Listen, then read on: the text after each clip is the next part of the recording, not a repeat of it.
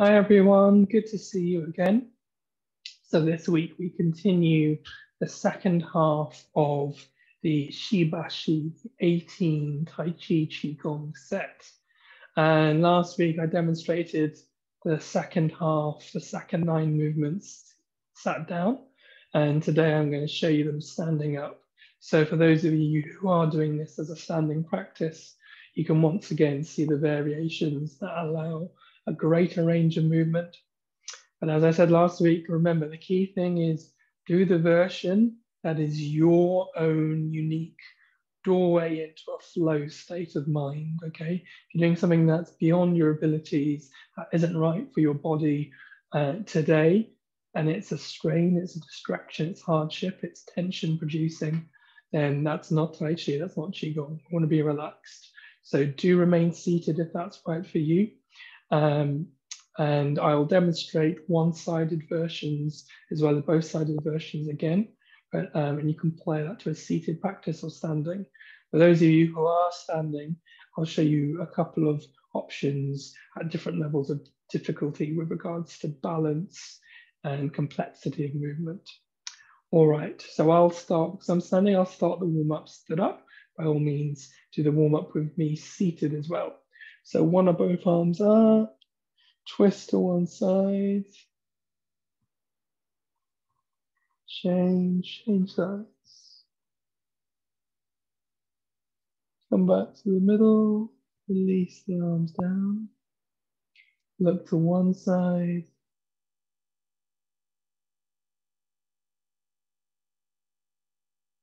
change, look to the other side,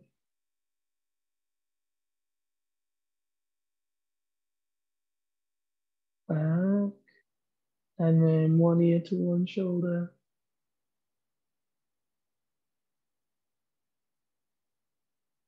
Change sides, other ear to other shoulder.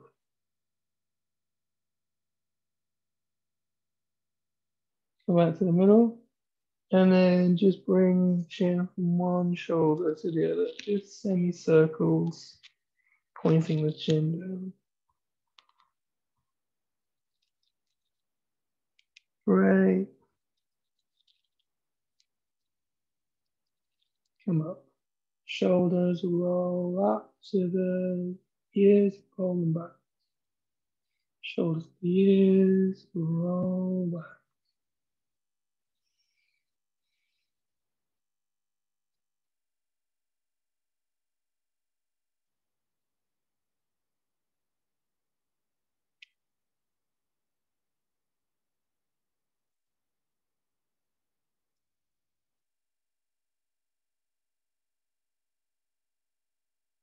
Change directions up or forwards.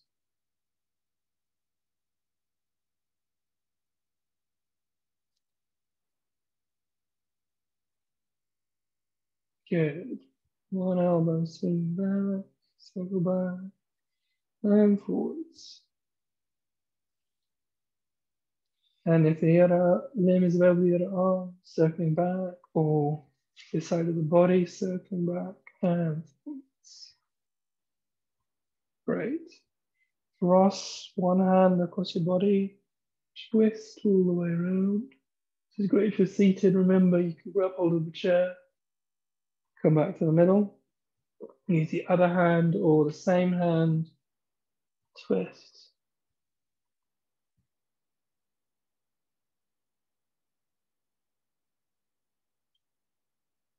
Come back to the middle. Love. Okay, good stuff. And now legs. So this is better if you're seated. Um, you're gonna, or if you want to try standing, it's. You're gonna lift one leg, circle the foot one way. It's much easier when you're seated. Change direction. Stand out. pull back. The other leg is available to you you get a circular motion with foot of the leg one way, other way, stand. Okay, right. So we're going to go for the second nine movements. Okay, movements 10 to 18. So remember movement nine is this one. Movement 10, cloud hands. Gonna do the easier one-handed version. Circling the hand across your body, bringing it up, turning the palm away from you to lock over your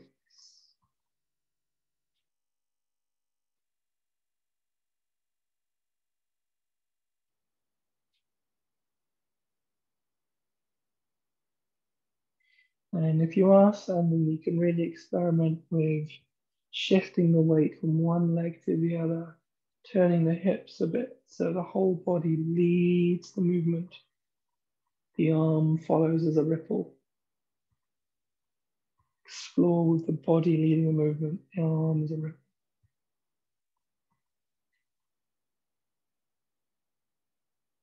Great stuff.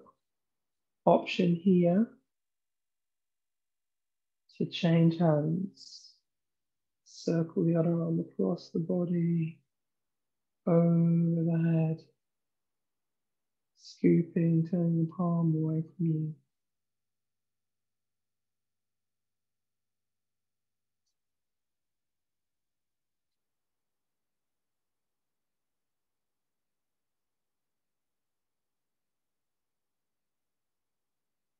Keeping going with the first arm, first side is just fine.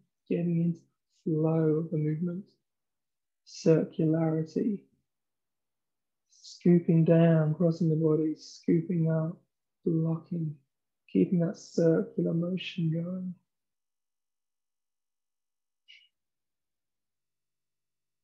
Final option here is to do two hands at the same time. If you've tried this with me before and it's improving, great, but don't let this be a, a block, a distraction into that flow you've been getting into with a single arm. Two arms.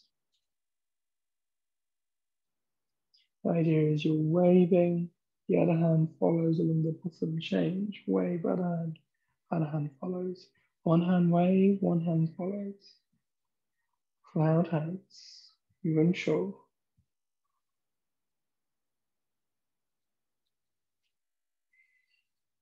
But don't let us be a block. If this is tricky, go back to one arm.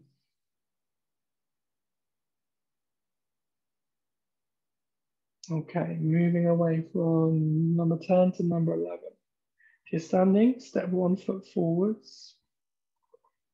And you're going to reach forwards, scoot down, bending the back coming up, arch the back, forwards, down over the leading foot, up, arch the back.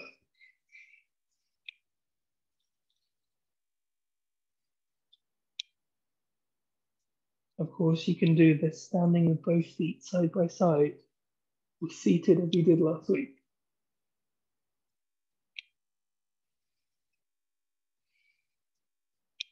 One-sided version.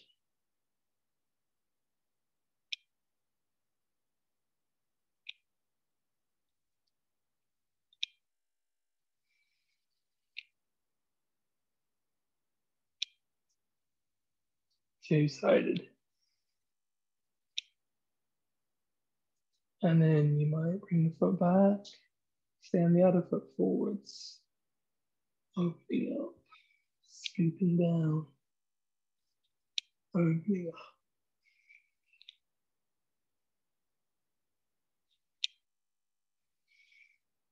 Breathing out, breathing in, breathing out. Again, one arm version.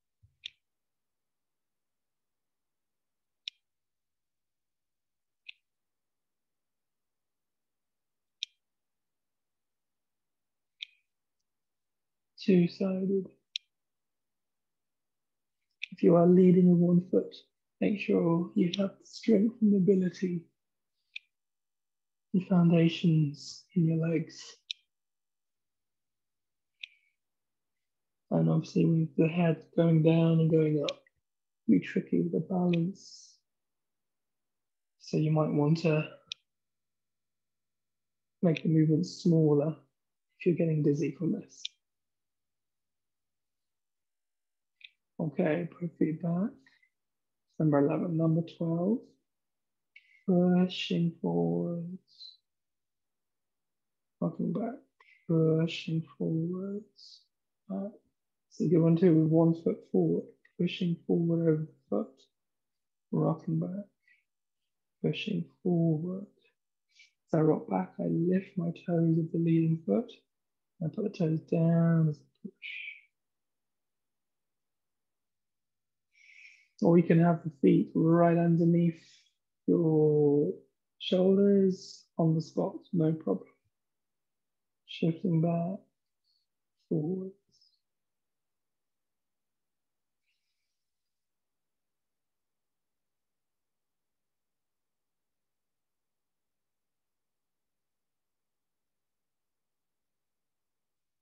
One-sided. Remember, if you're seated, flow along with my upper body movements while being comfortable in your seat on the chair. Two hands. If you're standing, you got one leg forward.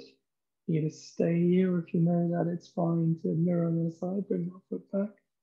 Other leg goes forward pushing forwards, rocking back, lifting toes down, just hinging and pivoting on heels and the toes. Just give you more of a sense of momentum and pivot and pushing and then yielding back. In, ya, in, ya.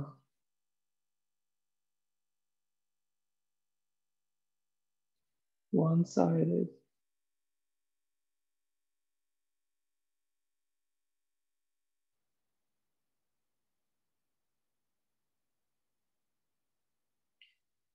Two hands. Right, bringing this one back to the middle. There we go. So that's 10, 11, and 12. 13, we're like bird opening its wings as it stretches out in the morning before it flies. Opening out, turning back, out.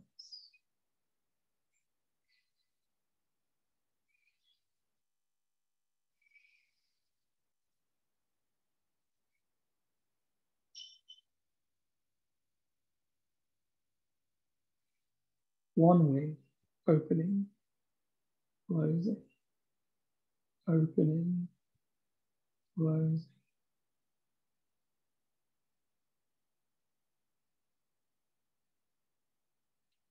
Two wings.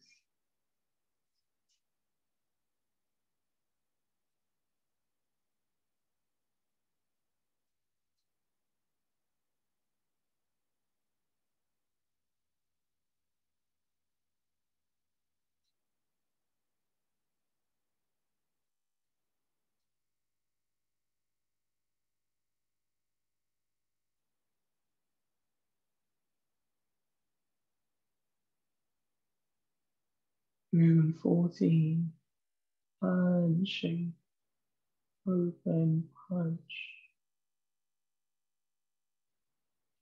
Relax hands, form a punch shape with the fist, but no tension.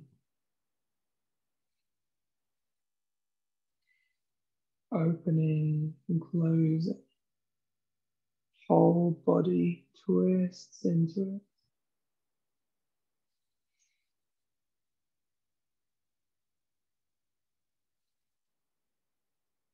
One sided version, punch, bring it back, bring the other side of the body forward, punch, circle, bring it back, stand opposite side of the body, punch, circle, stand the body.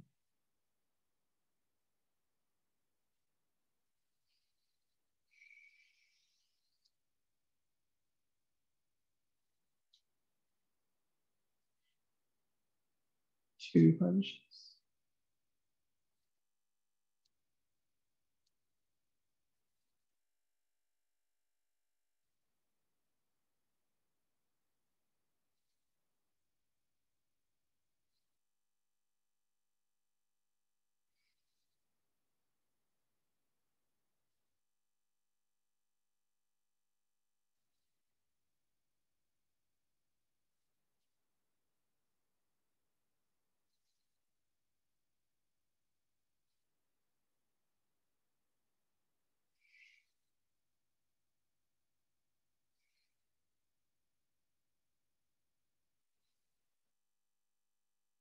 Great.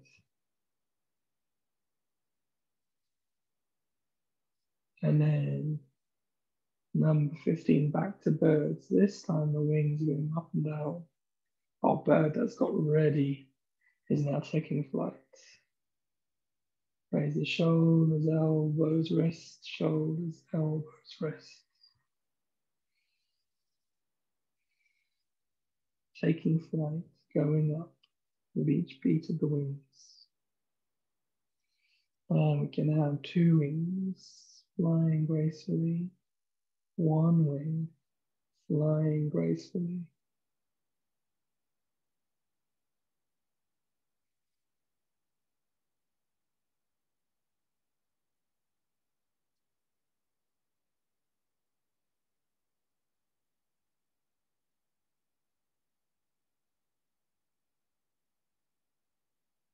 Great stuff.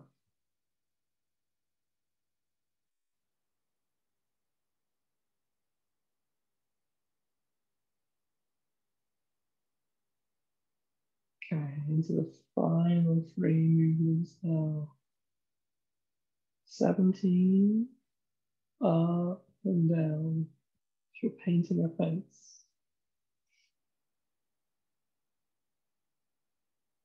And of course, as we demonstrated last week, it could be two arms, or one arm up and down. Extend the body forward, up, down, extend the shoulder forward, involving that other side of the body where possible, just seated, standing. Now, if you're standing, we've got more options of this one. If you want to bring in some balance into it. So as we go up, what we can do is as we lift one arm, we can lift the opposite heel of the foot down, drop the heel, other arm. So I've got my right arm going up, my left heel lifts down, left heel, left arm goes up, right heel lifts, opposite foot, opposite arm. And this might be just fine for you. So you're getting a bit of a like a marching action going on. If you want a little more, you could lift the whole foot up. Opposite foot, opposite hand. Lifting the foot just a little bit off the floor, maybe. And then if you want a little bit more, you can lift the knee higher.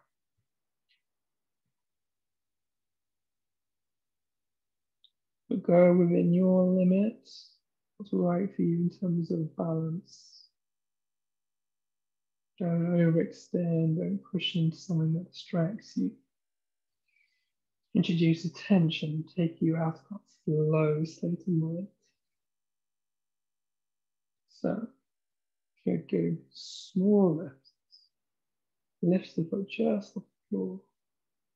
Or could be lifted the heel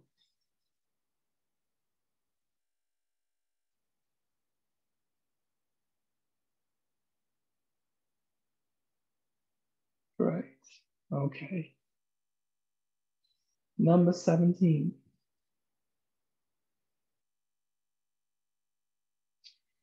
Feet back under our shoulders. And we're going to circle big whole circles now, down, leaning forward, up, down, up.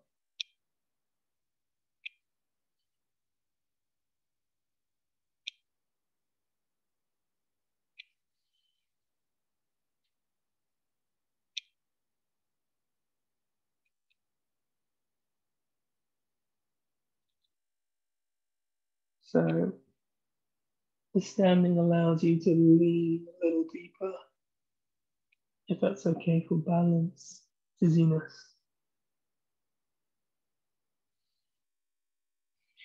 And as you demonstrated last week, it could be one arm that's doing the circle, like an elephant's trunk.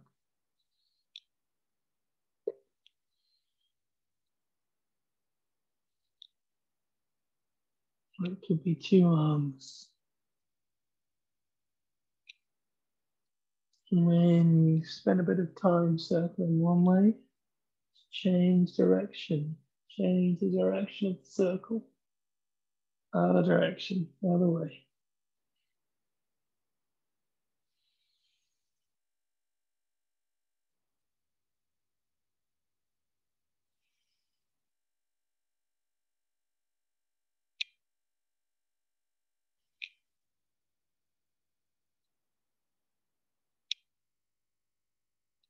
Could be that one trunk filling the other way.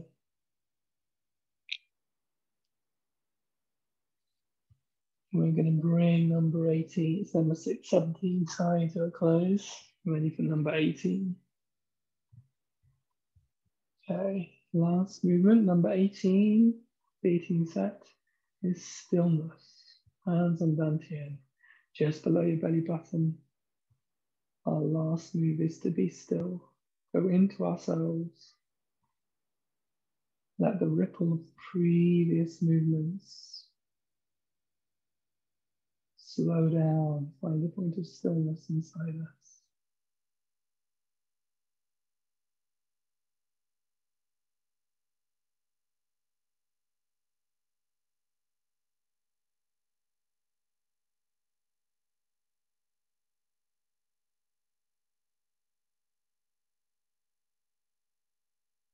And then when you're ready, you have your eyes closed, slowly open them.